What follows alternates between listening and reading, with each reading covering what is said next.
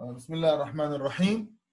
لازلنا في ال chapter الأول في ال geriatric nursing شرحنا مع بعض آه، في خلال المحاضرة المباشرة. وصلنا لعند ال life expectancy بنحكي إيش يعني ال life expectancy life expectancy من من اسمها expectancy يعني expected يعني معدل الحياة المتوقع. اذا هي عبارة عن ال number of years from birth that an individual can expect to live. قديش متوقع إنه يعيش؟ طبعا هذا بيختلف من دولة لدولة حسب التقدم الصحي والتقدم آه، آه، يعني بيقولوا للمرضى كبار آه، السن عندهم. كل ما بيزيد التقدم هذا كل ما بيصير إمكانية إنه يعيش أكثر موجودة وبالتالي ال life expectancy بتزيد. زي ما أنتم شايفين بقسموهم تقريبا لثلاث أقسام. young old من 65 ل 74 و middle و middle old من 75 ل 84 ولا أكثر من 85 هذول بيكونوا old old بيحكوا عنهم. تمام؟ عندنا معدل ال life expectancy بفلسطين يعني حوالي تقريبا 73 أو 74 حاجة زي هيك. طبعا حنلاقي إنه في اختلاف في ال life expectancy بين ال male gender وال female gender بكل الدول لاسباب كثيرة.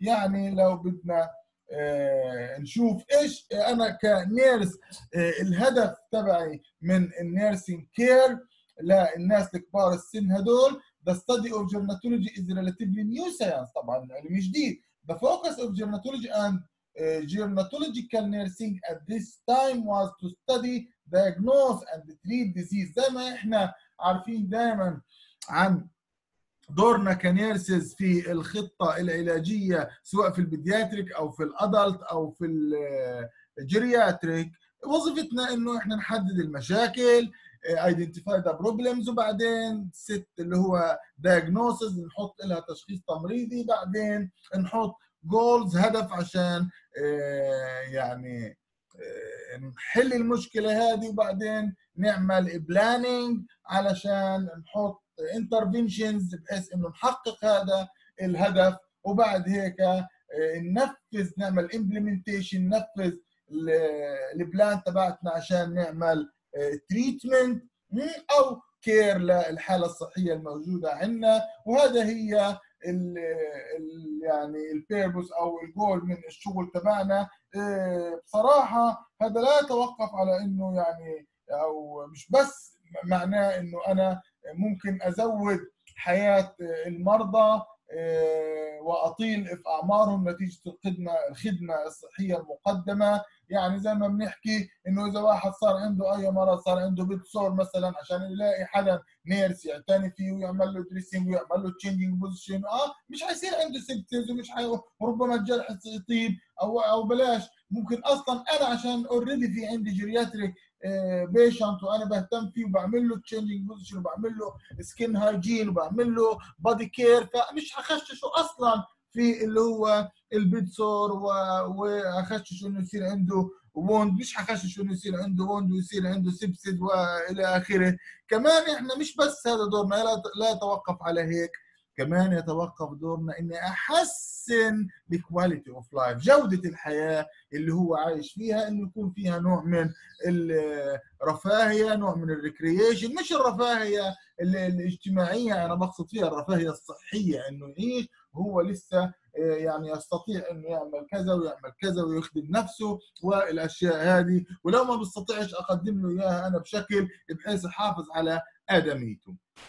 عشان هيك في demographic and ال demographic والعمر يعني صار في بينهم تشابك لأنه ال demographic يعني خلينا نسميه التوزيع السكاني في البلاد بدأ يصير مرتبط في العمر لأنه بدأت عملية الايجنج يعني كبر السن تأثر في توزيع السكان وصار في عدد كبير من الناس اللي هو كبار السن بيعيشوا في المجتمع وبيشكلوا جزء يعني مهم من ال population زي ما بنشوف إحنا في الدول المتقدمة كل ما بتتقدم الدولة بيزيد ال life expectancy عندهم وبالتالي ال aged person هذول الناس اللي فوق ال 65 آه بمراحله الثلاثة زي ما حكينا young age و middle age عفوا young old و middle old و old old آه بتلاقي إنه هذول صاروا مشكلين يعني 20%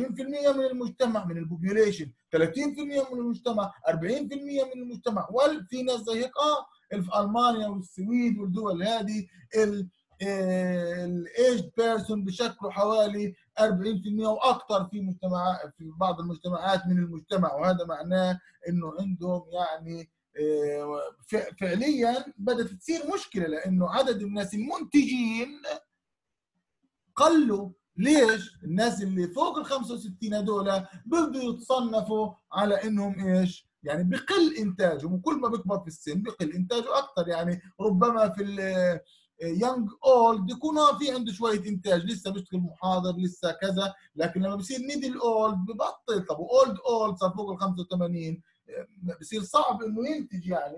ممكن آه يستشيروه آه، كل يوم استشاره واحدة. طيب. عشان هيك في بنلاقي مفارقات مثلا Japanese versus Africa الدول المتقدمة الصناعية الكبيره زي اليابان وربما اليابان بالذات هي أكثر دولة يعني على مستوى العالم عندها ال life expectancy عالي بوصل حوالي 83 سنة.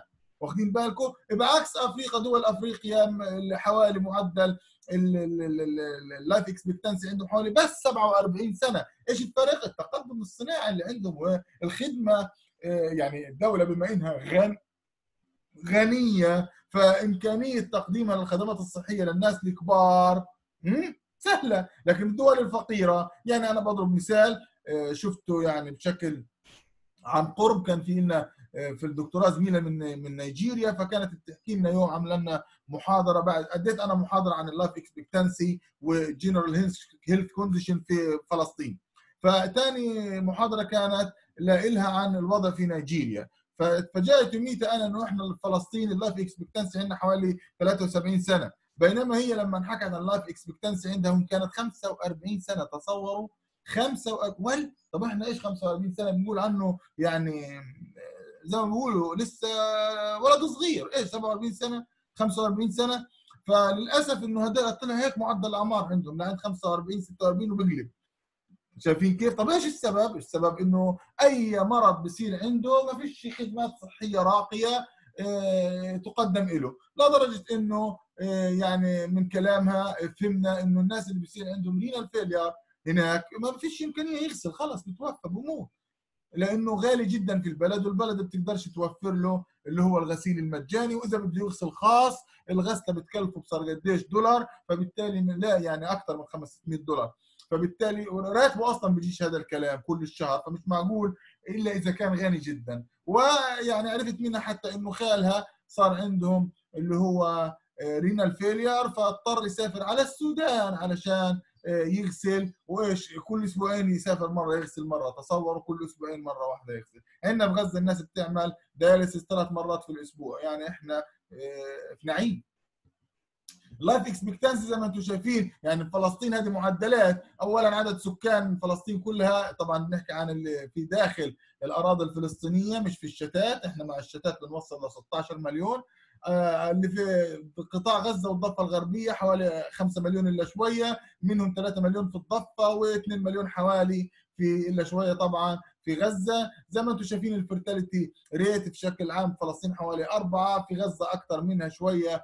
عن الضفة. life expectancy شايفين كيف 72 عند ال male لكن عند ال female 75 آه ربنا مديهم إيش؟ ال female ات. طول العمر.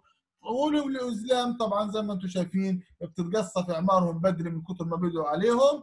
فيعني معدل ال life expectancy بشكل عام حيكون حوالين ال 73 74 حاجة زي هيك. تمام؟ وزي ما أنتم شايفين الإحصائيات تدينا عن ال infant mortality rate ال child mortality rate. إذا فاكرين هذا الكلام جزء من ال epidemiology اللي أخذناه الفصل اللي فاتت. ف آه، ال trends تبعت الايجنج حكينا عنهم اللي هو young old و middle old و old old القصة هنا إنه وجدنا إنه في gender differences in life expectancy ليش هذا ال gender expect مين يقدر يفسر لي ليش 75 عند ال female؟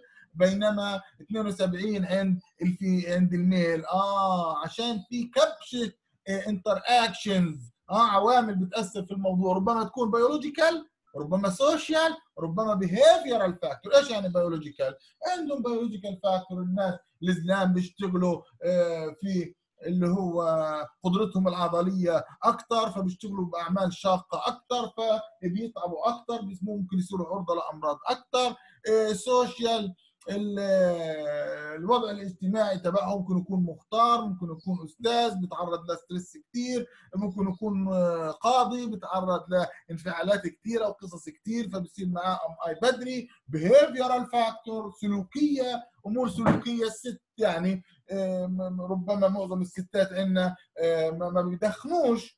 من لكن من السلوكيات اللي منتشرة عندنا بين ال male gender إنهم بدخنوا مثلا طبعا معروف إنه الدخان بيزود الإصابة فرصة الإصابة بالسرطانات بيزود فرصة الإصابة بأمراض اللي هو الرئة وبالتالي ممكن ياثر على إنه تكون ال mortality rate أسرع. اذا فعلا الجندر بيأثر greater male exposure to risk factor اللي عندهم يعني ربما يتطور لمشاكل كثير على يعني مع مرور الوقت زي زي ما حكينا عن التباكو أو الأخطار تبعت المهنة اللي ممكن تواجههم. طبعا في ناس كثير بتواجههم اخطار في في المهنة إنه بيشتغل مثلا بالقصاره بالدهان بالكذا. وهذا ممكن أصلا بحد ذاته التعرض للإسمنت وللبويه والحاجات هذه يعمل برضه أمراض وبالتالي يزود فرصة الإصابة بالمرض و يعني يقلل ال life expectancy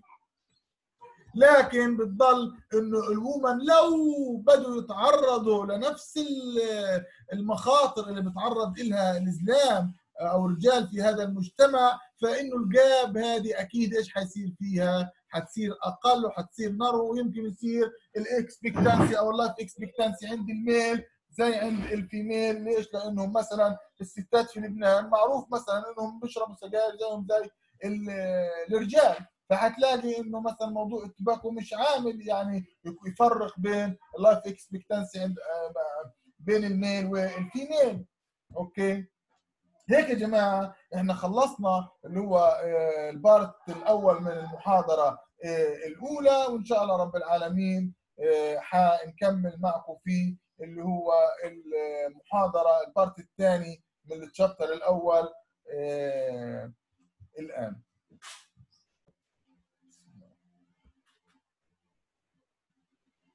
أوكي بسم الله الرحمن الرحيم.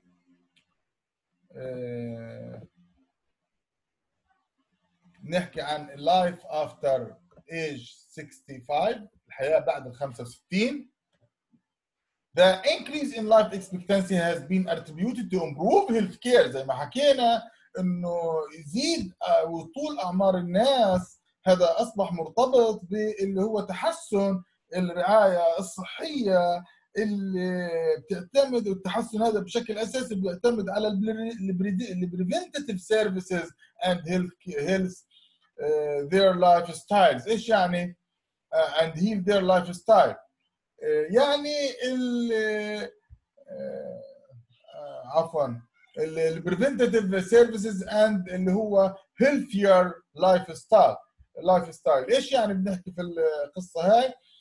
بنحكي هنا إنه تحسن الوضع الصحي والخدمات الصحية والرعاية الصحية للناس هذول كبار السن عن طريق برامج اللي هو الرعاية ال preventive care اللي هي إيش بنسميها يعني اللي هو اللي هو الخدمات اللي بتمنع أصلا حدوث المرض الرعاية الأولية أو اللي هي بسموها نسيت الاسم بالعربي تبع إيش preventive services اللي هي يعني تجنب حدوث الأمراض قبل حدوثها. وطبعا إحنا بنعرف إنه ال preventive مش بس زي هيك لإنه له أنواع primary و secondary و tertiary تمام؟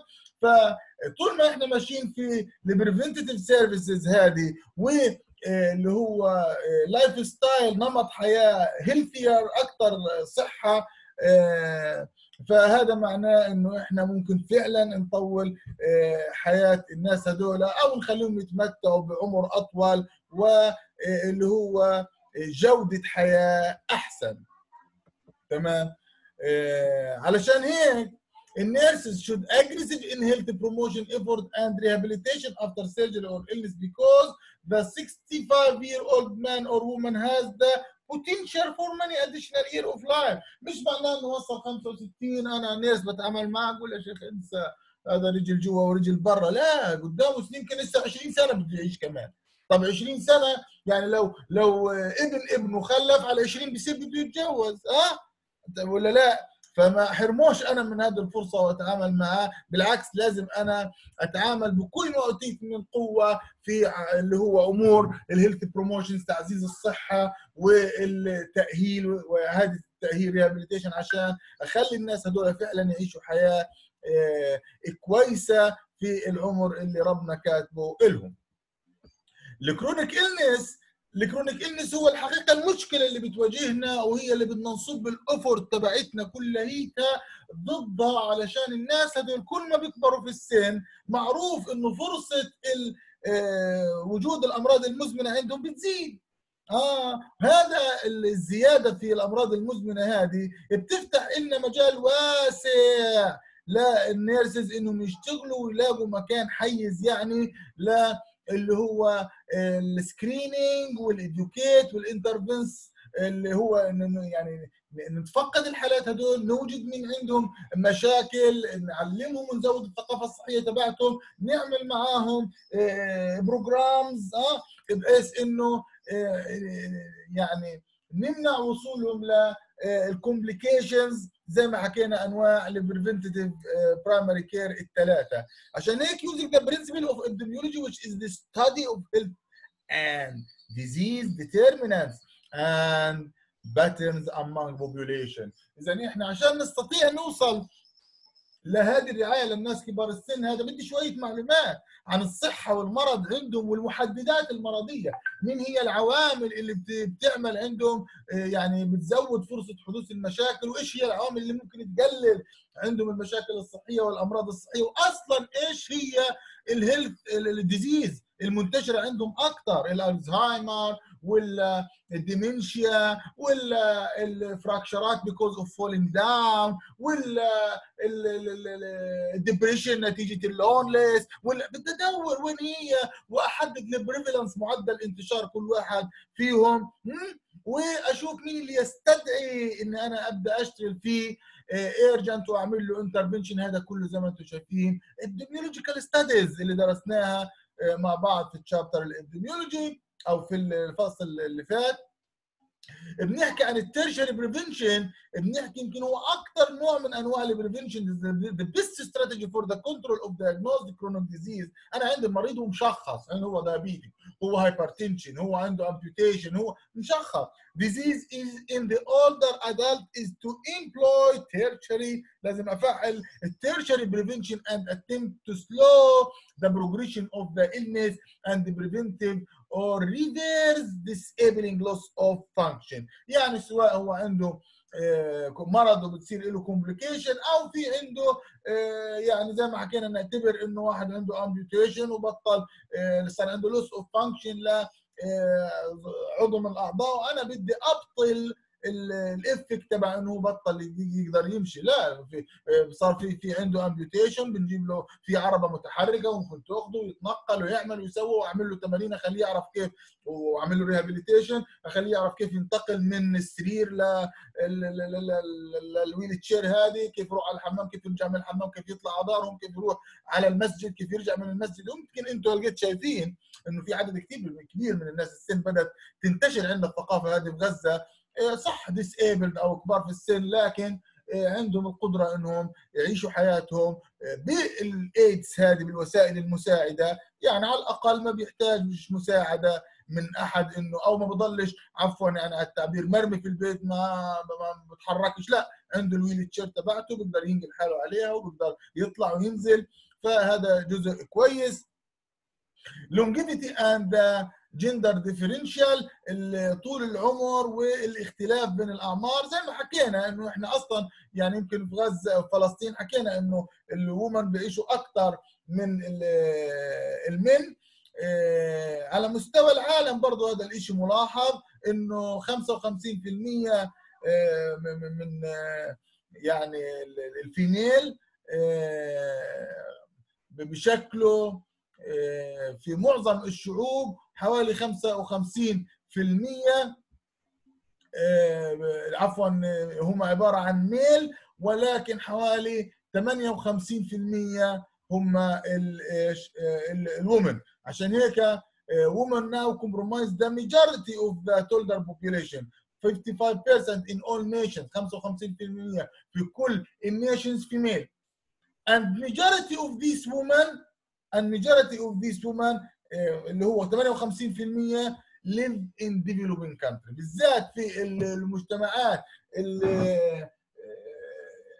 اللي هي زينا بنسميها دول زي ما بنسموها إحنا دول العالم الثالث آه developing countries مش developed لا developing دول اللي نامية بسموها عدد ال female فيها أكثر مع إنه إيش؟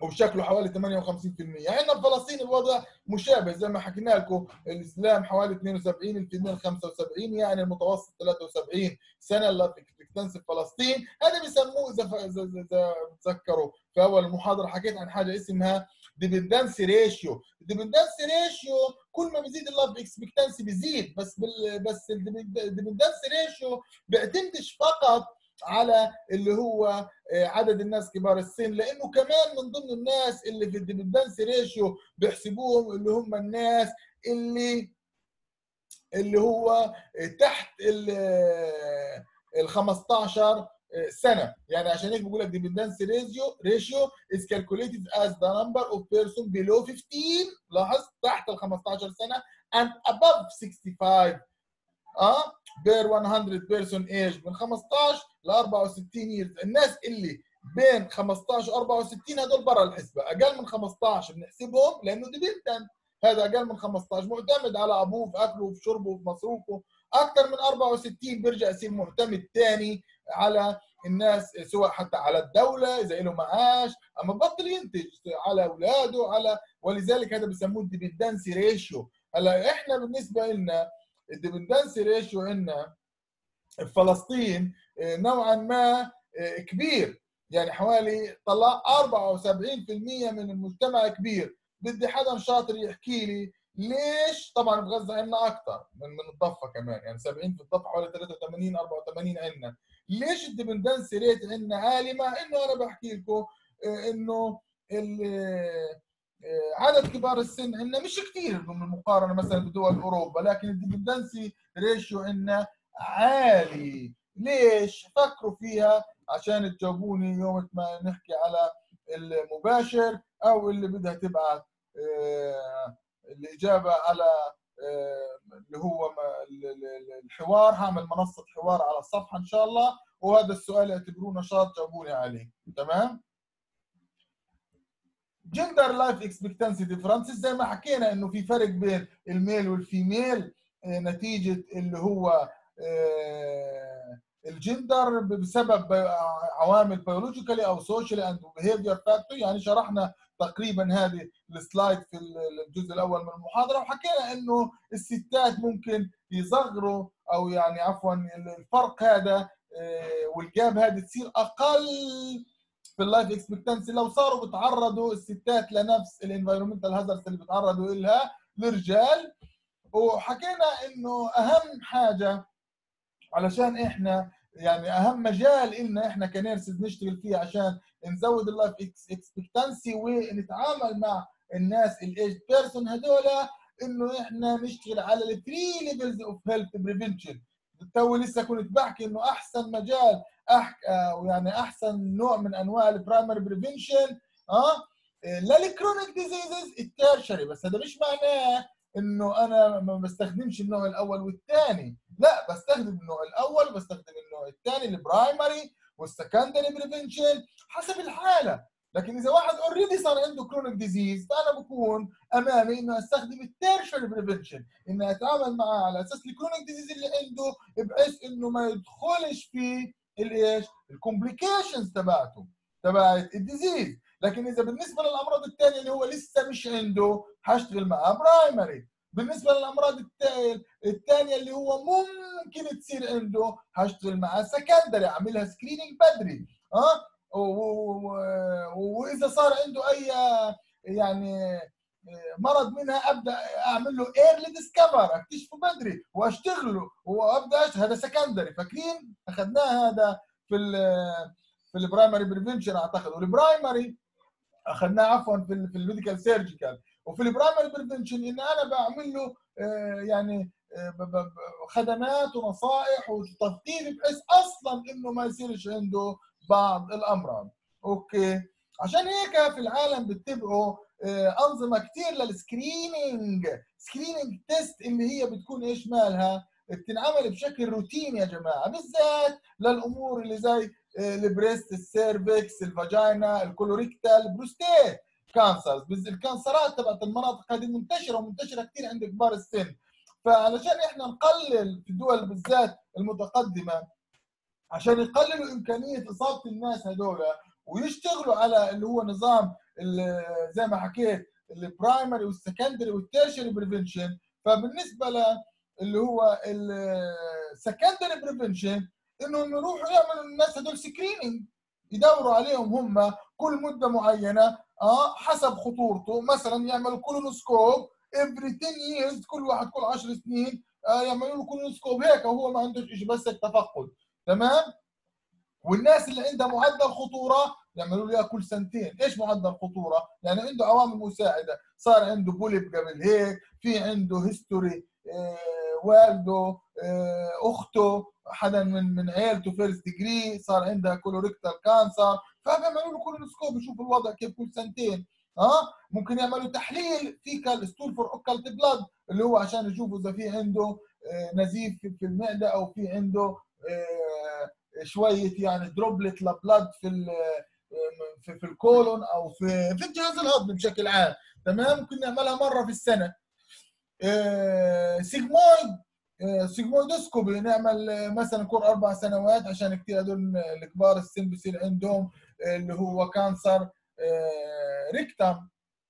تمام؟ في ال sigmoid بالذات. فكل أربع سنوات ممكن نعمل له فحص نشوفه نشوف نعمل له منظار زي ما حكينا حسب وضع المريض تتغير السنة ممكن تكون كل 10 سنين للمريض الطبيعي. والله عنده معدلات الدهون وال triglyceride والكوليسترول عالية بدها تصير كل خمس سنين. ممكن أعمل له barium enema كل أربع سنين. ممكن أعمل له طبعا هذا الكلام يا جماعة مش standards لا كل دولة حسب إمكانياتها بتعمل. يعني مثلا إحنا هلقيت حقول لكم بالنسبة لنا بنعملش الحاجات هذه ما فيش عندنا روتين في المنظر ولا روتين حتى في فحص ال PSA ال PSA فاكرينه حكينا عنه المرة اللي فاتت. في ال medical surgical برضه آه؟ برا في دول عندها once yearly روتين لإنهم يعملوا آه الماموجرام آه ما عندهم روتين اللي يعملوا للستات آه اللي هو مرة في السنة.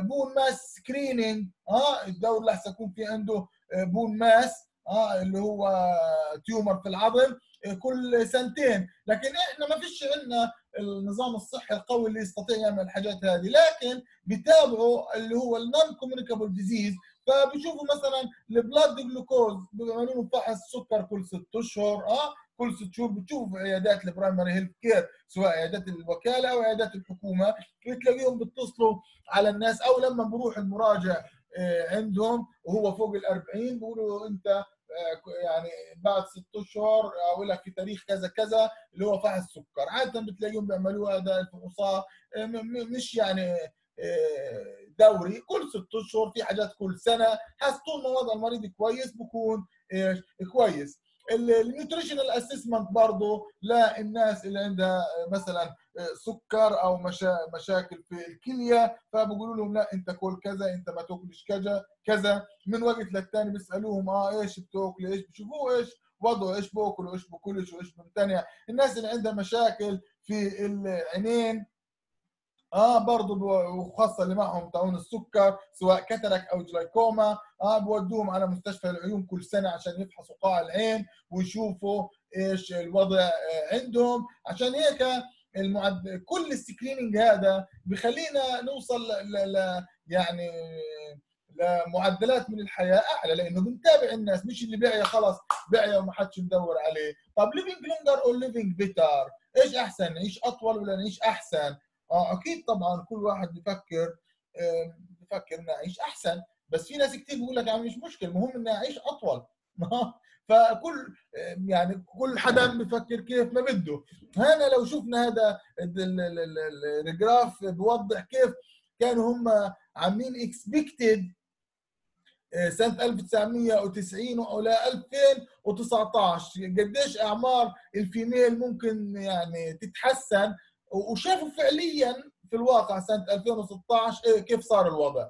فهم كانوا متوقعين يعني سنة 90 كان ال life expectancy expected إنه يصير يكون 66.1 لكن هو في فعليا كان 71 هم توقعوا إنه في 2016 يصير 67 لكن فعليا هو طلع 73 وفي ال male كان 62 طلع 63 يعني أقصد إنه التقدم الصحي الموجود يعني حتى فاق التوقعات في اللي هو ال life expectancy تبع الناس وصارت الناس تعيش أطول آه، أحسن من الفترة السابقة.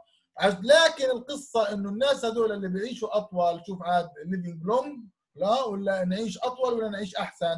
كل الناس هذول اللي بيعيشوا صار بيعيشوا إيش معهم؟ طلع هذا الخط الغليظ communicable اللي هو non-communicable disease صار بيعيشوا معهم طلع كل ما إحنا بتقدم في العمر. آه هي هنا عند 65 لاحظوا هنا بعد ال 55 طلع المنحنى.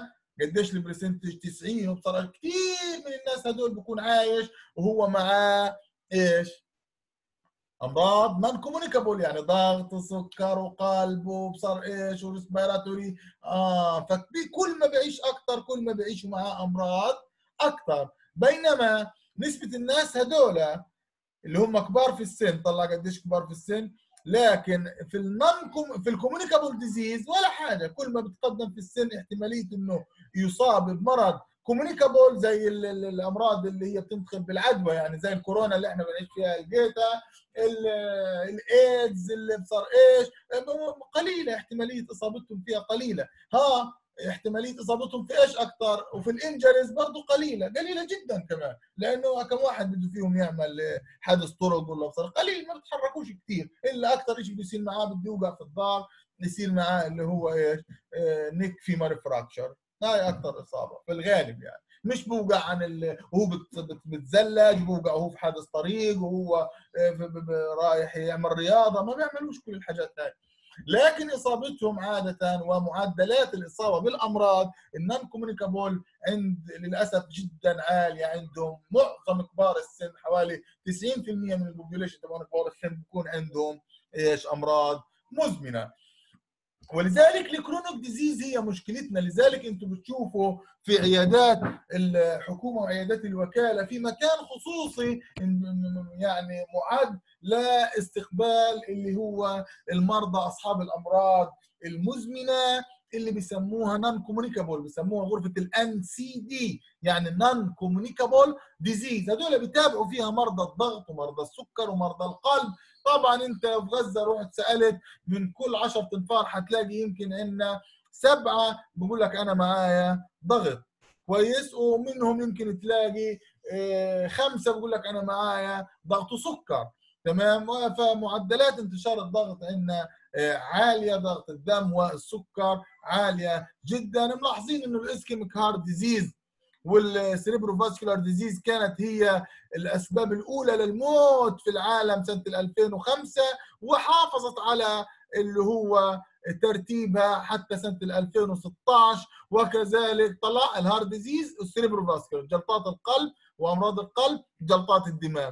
بعد هيك أمراض ال neonatal وبصار إيش؟ طلع أنت اللي هو ال respiratory tract infection صارت سنة 2005 كانت رقم خمسة السبب الخامس للوفاه مع التقدم الصحي تأخرت وصارت السبب السابع للوفاة. ملاحظين؟ بدل ما كانت الخامس آه ال lower respiratory tract صارت السابع. ال chronic kidney ضلت زي ما هي آه ملاحظين أنتوا انه الامراض ال COPD كانت العشر صارت ل يعني التقدم الصحي سنة 2000 فما بالكم إحنا سنة 2020 أكيد الوضع شوية حيكون أحسن لكن ما اختلفش كثير على فكرة. نظريات التعلم نظريات التعلم هذه إن شاء الله رب العالمين نبدأ فيها في المحاضرة القادمة. أتمنى إنكم تدرسوها وتجهزوها علشان إحنا نبدأ نحكي فيها المرة القادمة بإذن الله.